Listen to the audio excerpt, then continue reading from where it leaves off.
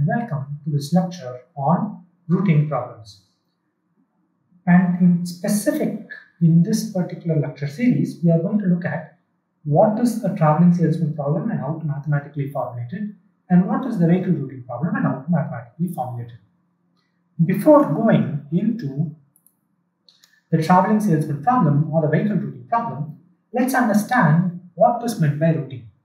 So routing problems are basically addressing this primary question in the logistic space around how should a given set of locations be visited. So if I have 10 different customers, in what order should I visit those customers? So that is the routing problem. And the aim of any routing problem is basically to ensure that all the locations are visited and the demand in those locations should also be satisfied. And this is ensured while we attain either the minimum transport time or transport distance or minimum use of resources, the number of vehicles that could be available to me, or we could do both, right? So that is in, uh, in general the crust of a routing problem. There are several routing problems of that and for this lecture we are going to be discussing about two of them.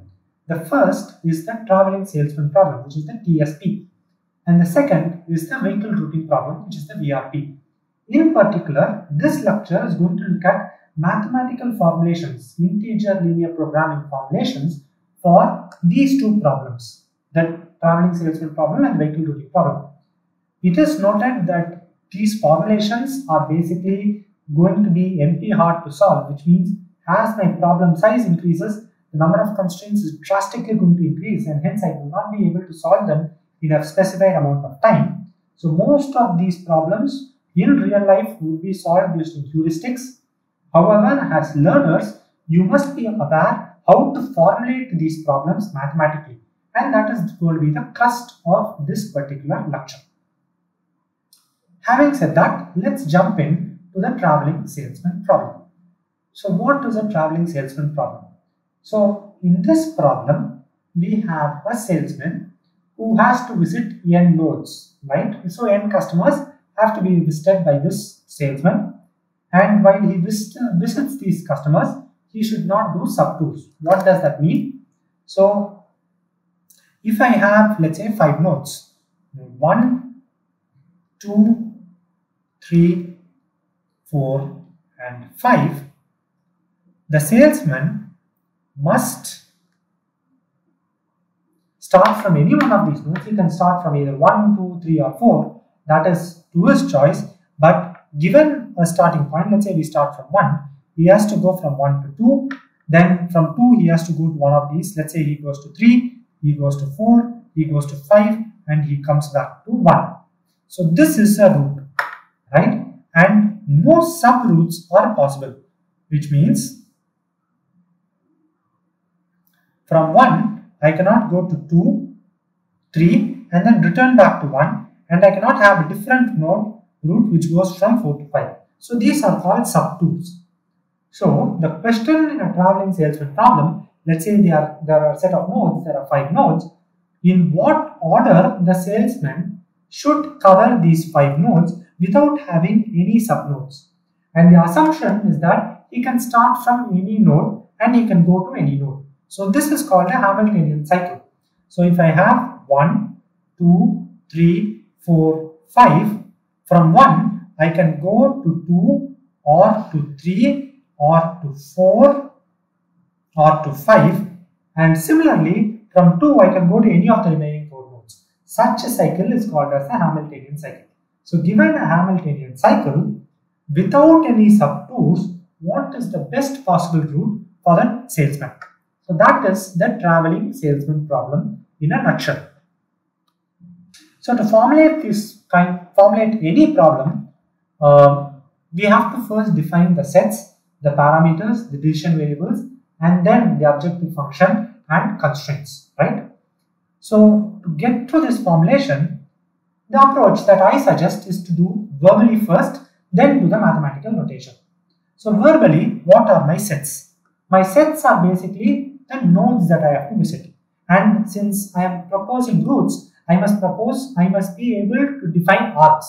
So I j. So that is my first set. set i, j, both representing my nodes, which are 1 to n. Then for every node i to j, I must know the distance. So what is the distance for going from location 1 to location 2? What is the distance for going from location 1 to location 3, location 4, location 5? So it's going to be the distance, right? So that is dij. And usually this distance is represented in terms of a matrix known as the distance matrix. So for the 5 point problem, we would have something like this where I will have locations 1, 2, 3, 4, 5. 1, 2, 3, 4, 5.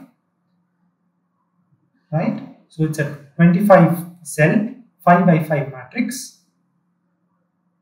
And the distance for each of these would be given inside these cells. So let's say 1 to 2 is 10, 2, 1 to 3 is 5, uh, 3, 2, so on and so forth. So that is the distance that one uh, that salesman will take to travel from 1 to 2. Usually this is a symmetric matrix, so it will just repeat here 1, 5, 3, 2. Let's solve a symmetric matrix problem, the simplest problem.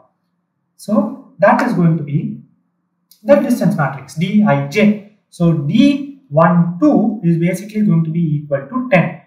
d14 is basically going to be equal to 3. So that is the uh, distance matrix.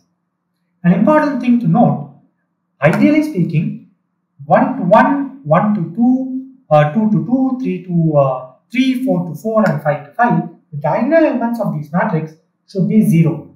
But we usually give a very very high number in these cells so that we avoid moving from i to i in our solution.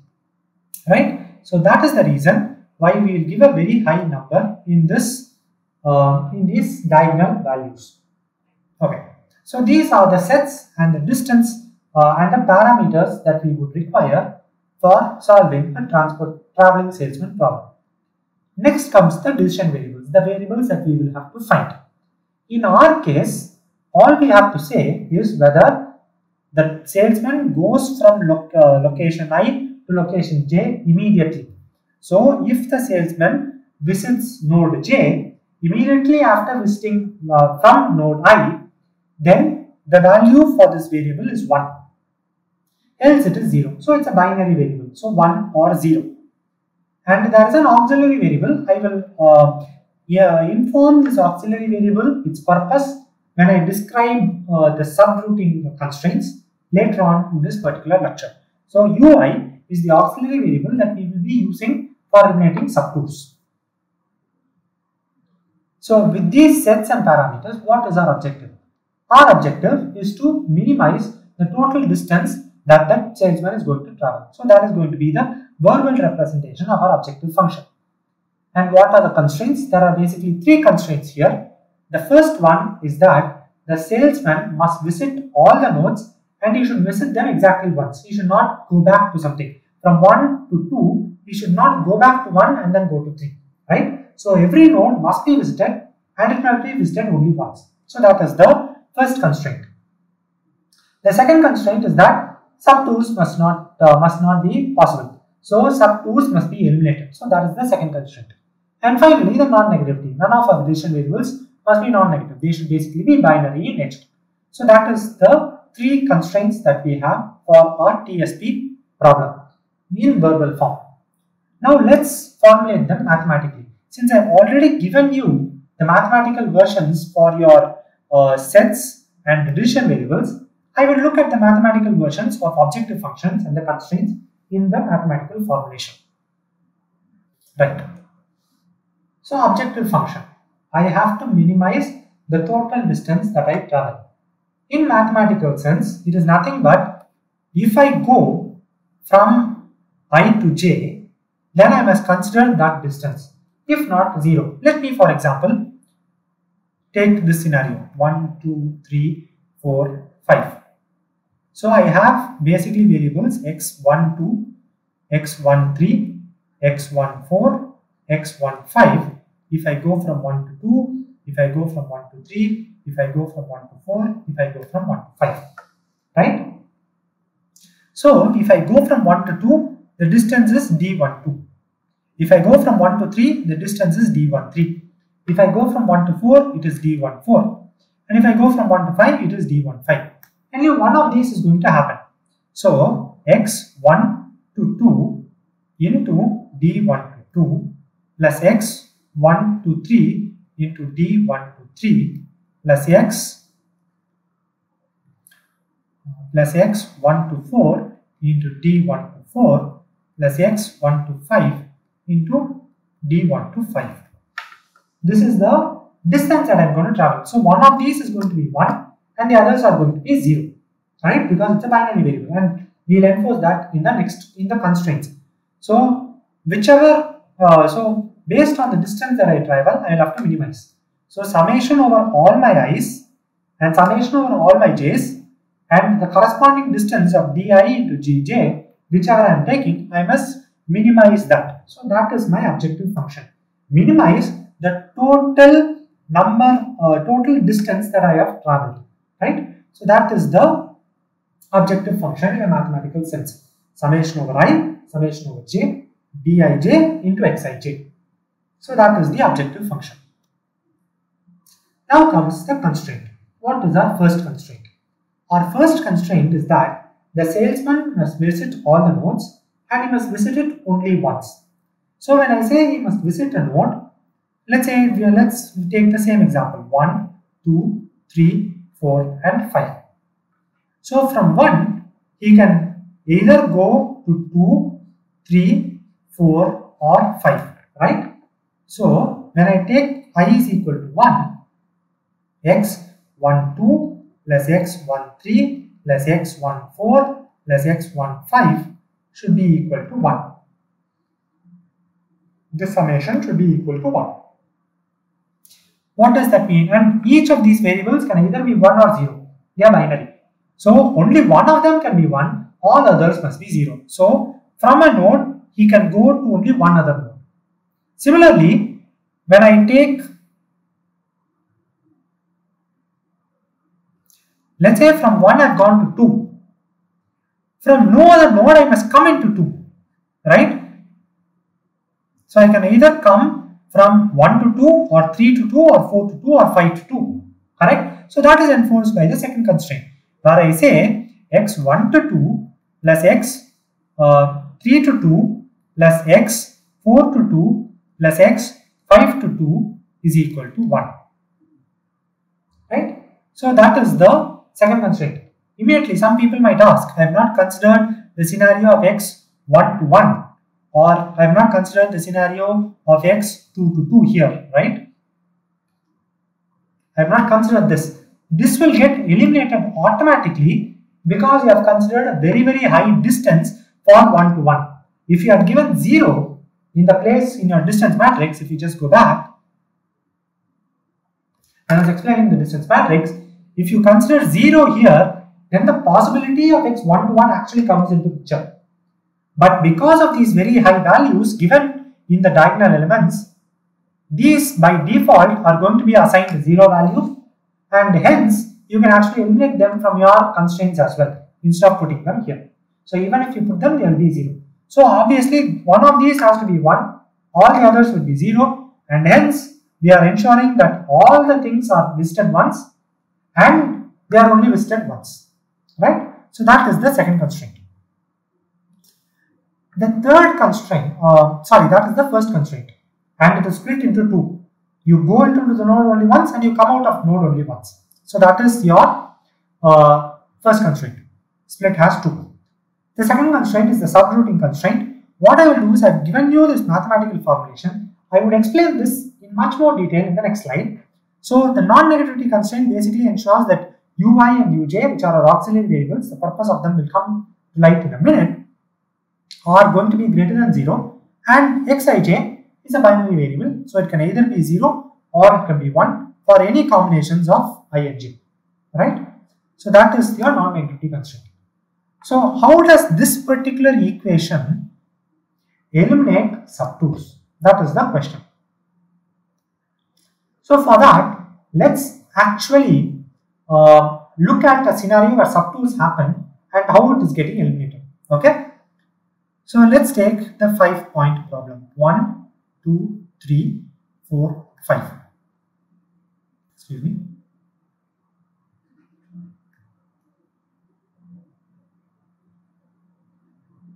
Three, four, five. And let's say a subtour, subtour has happened. So you are going from 1 to 2, 2 to 3 and 3 to 1, right? And then you are having a tour here. So you are basically doing a subtour. 1, 2, 3 is one tour and 4, 5 is another tour, right? So when you have a subtour, look at this equation in two sense. A subtour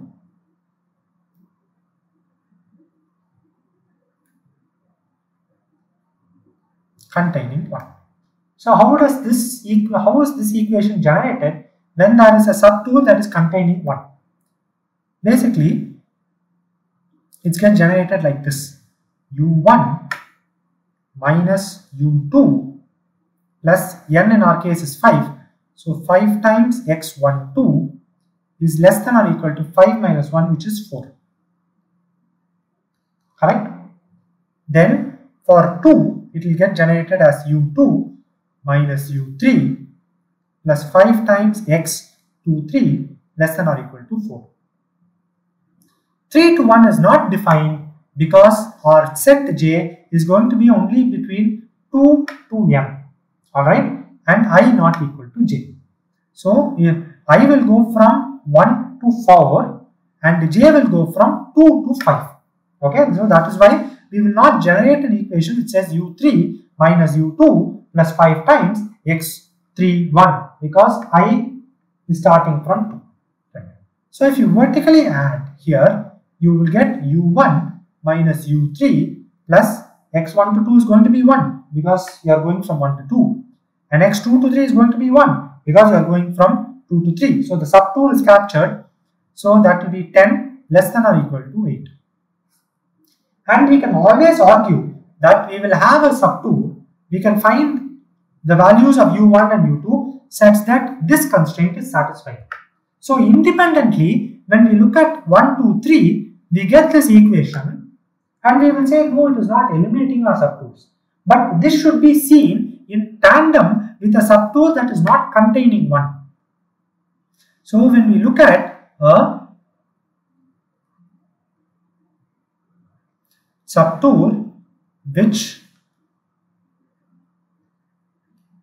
does not have i is equal to 1, we will end up looking at 4 and 5, right? So let's write the equations for those. So what would that be? u4 minus u5 plus 5 less than or equal to 4 and u5 minus u4 plus 5 less than or equal to 4. Adding vertically, we will end up with 10 less than or equal to 8, which is not possible. So, for every subtour containing 1, we will actually have a subtour that does not contain 1 which will violate the constraint. And hence, when this gets eliminated, automatically this will also get eliminated.